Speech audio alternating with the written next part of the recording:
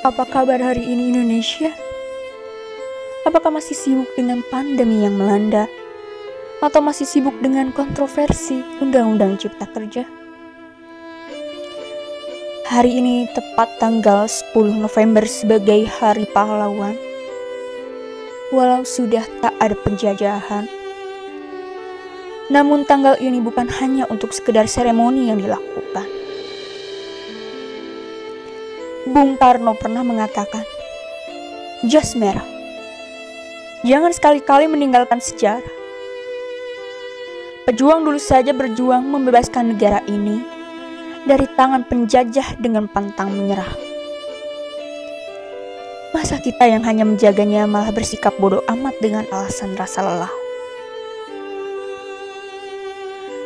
Banyak isu yang kian menderu, tanpa akhir terus menyeru Mengapa dengan Indonesiaku ada kedamaian?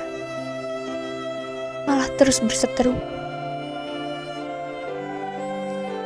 Pandemi terasa menghantui, undang-undang kini berlaku seakan tak peduli, seakan tak berujung, yang tak akan pernah selesai kemudian hari. Dokter terus berada di rumah sakit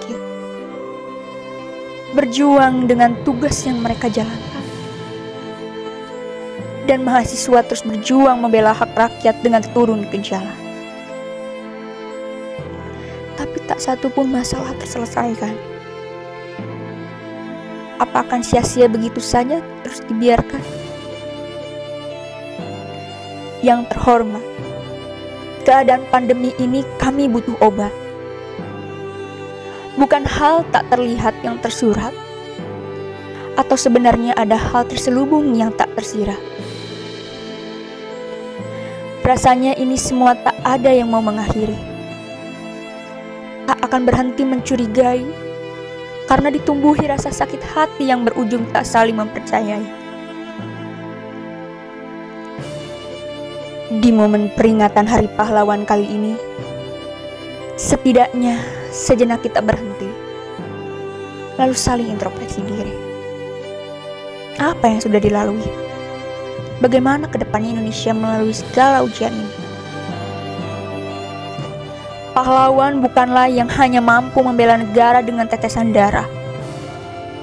Pahlawan masa kini adalah generasi bangsa yang mampu menjadikan Indonesia lebih baik dengan terarah. Mari kita satukan lagi tujuan. Ucapkan dengan lantang. Resapi dalam hati makna kebinekaan. Agar harapan dan cita-cita bersama dapat dilaksanakan. Untuk kesuksesan Indonesia tercinta di masa depan. Melesat pesat tanpa terhentikan. Atas nama mahasiswa.